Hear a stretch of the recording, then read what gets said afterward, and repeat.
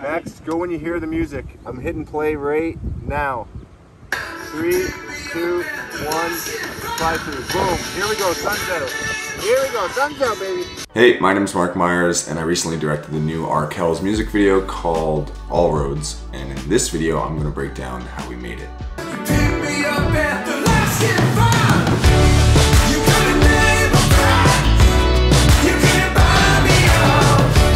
And sorry about my voice. Uh, two days ago, I was playing basketball, and somebody gave me a big shoulder right into my throat, so it's sounds like this. So the concept was pretty simple. Basically, it's a single shot music video using a drone. All roads. Here it comes. Me back. Sending it. Go, baby. Beautiful. And in this video, I'm gonna break down why we had to shoot it twice, where the cut points were, what the challenges were, and what we learned, what I learned. So I'm, I'm really happy with the end result, but I'd be lying if I said that it was easy because it wasn't. It was very complicated, very technical, and I didn't do it perfectly. So just a quick little aside to give more context on my kind of vision, uh, quote unquote. So the goal for me was that the video would work even if the band wasn't in it. The way I was thinking of it was as if we were designing a roller coaster path that was in perfect sync to the song. I later realized that wasn't super important, but just know that was kind of my starting point. So I usually like to start with uh, the conversation and how the video came to be. So I'll start there. The lead singer of the band, his name is Max. He came by my place and we just went for a walk and we were just talking about random things. And towards the end of our 20 minute walk, he's like, hey, we've got this other song. And he kind of played me a little clip from it. And he was basically wanting to pick my brain about a concept. So he wanted to do a, a single shot, kind of similar to how they had done last year for some music videos. And he was asking me about a 360 camera that I own, the GoPro Max. He was basically kind of wondering what can it do, what's it capable of. And I was descri- as I was describing what it could do, I was like, you know what would be a better idea? And I brought up this concept of shooting the video with an FPV drone. Normal drones that most people use are very cinematic insofar as they can, they just pretty beautiful shots. They're really smooth, they're kind of slower. Whereas an FPV drone, I think has its roots in racing, where they go through little obstacle courses, flip around, dive, dip, everything else. So the reference that I shared with Max during our walk was this really cool and pretty popular video that circled the internet about two months ago, and it was the bowling alley drone shot.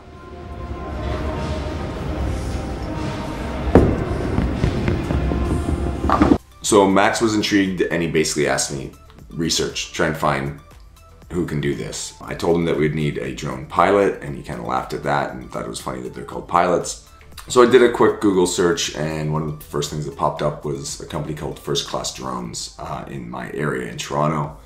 So I checked out their Instagram, I reached out, the guy's name is Misha, and the conversation started and the ball started to roll. So because the song is called All Roads and the lyrics say all roads will lead me back to you, Max and I were both on the same wavelength of, of thinking that we need a location that kind of has crossroads or multiple in points where various band members could come in and out of this storyline.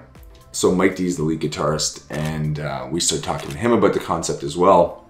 And he had some locations in mind in the Hamilton area. The band's from Hamilton, just 45 minutes from Toronto.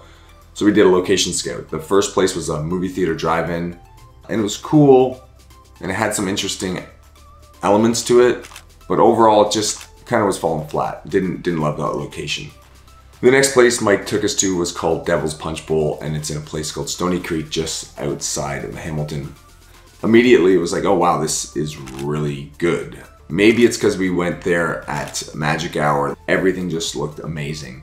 What was cool about this location was that there was this country road that kind of winded around this escarpment or cliff area, dipped down, ravine, wooded area, overlooked uh, Hamilton, and it looked beautiful, especially when we visited that day.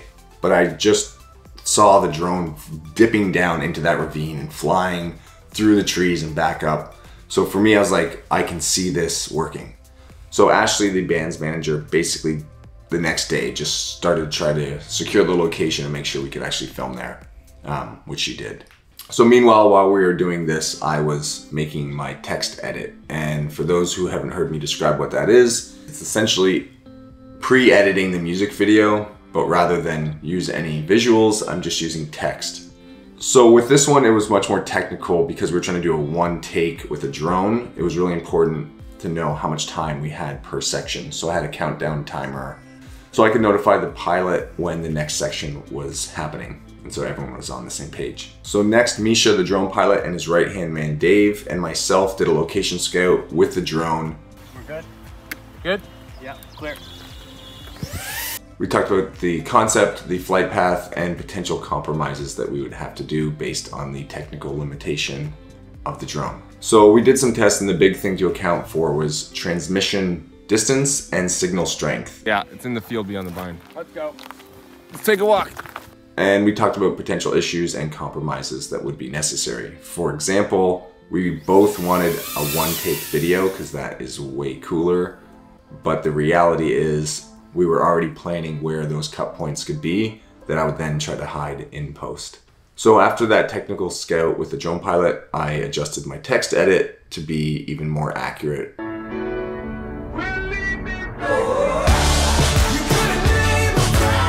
So as I mentioned at the beginning, we had to shoot this twice, uh, which was a bummer on my, on my side. I kind of messed up. So I'll quickly just try and talk about the first shoot.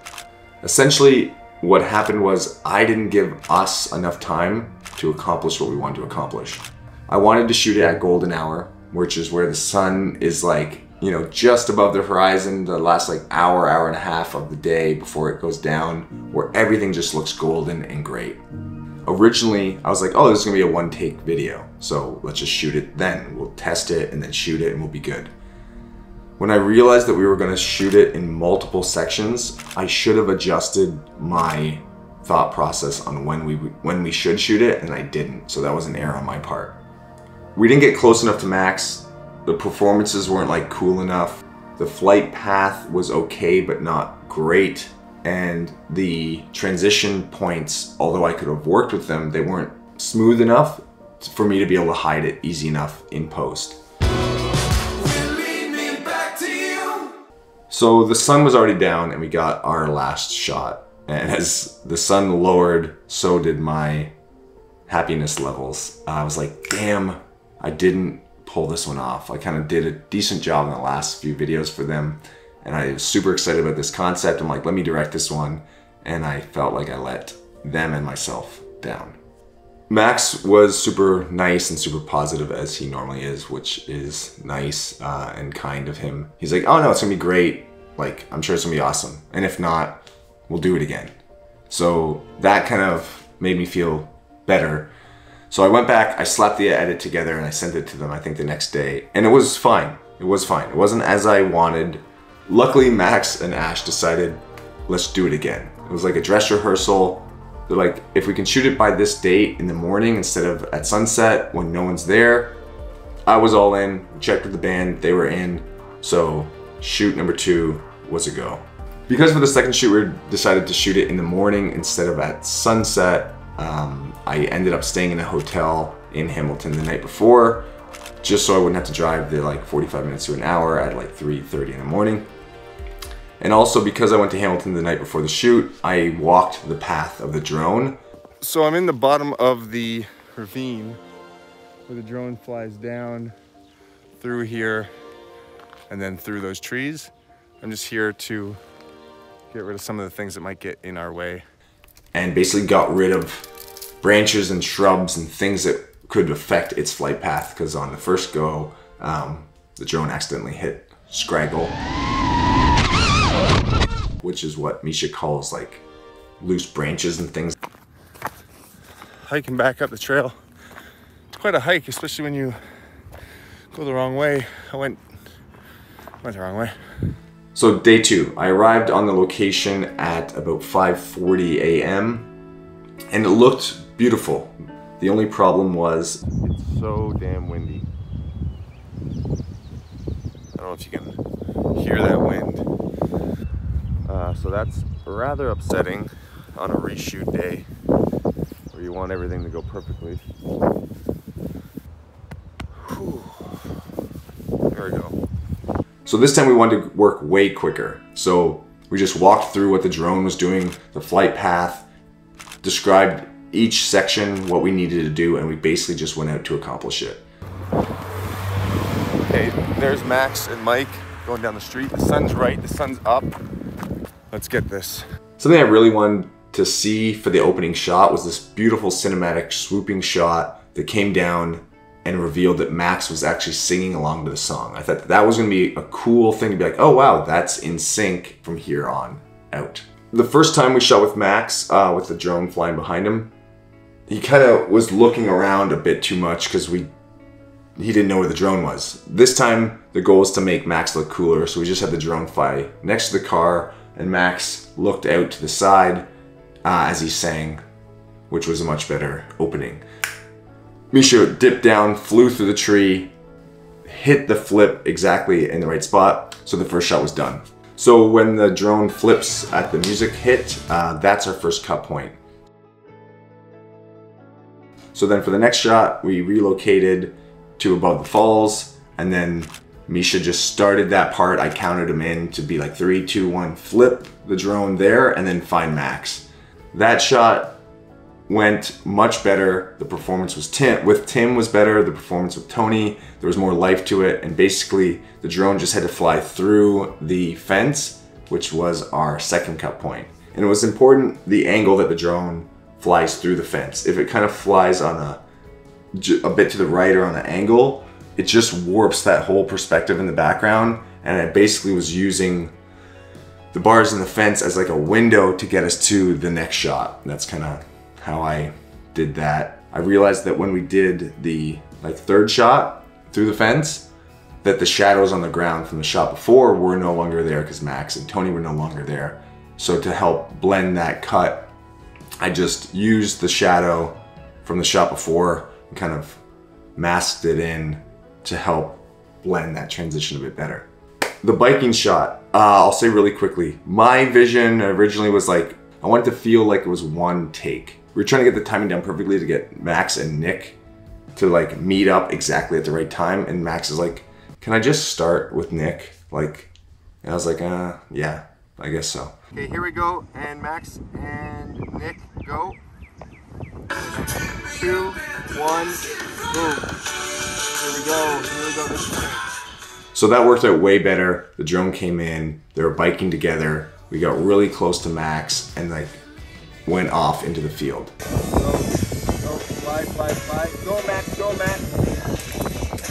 You got five seconds. Two, one.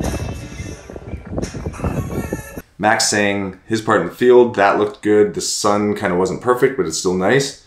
Send it, Max. Send it. Because it was so windy that day, we couldn't have the drone circle Max the way we wanted to to then lead into the next shot. You know the wind's coming this way?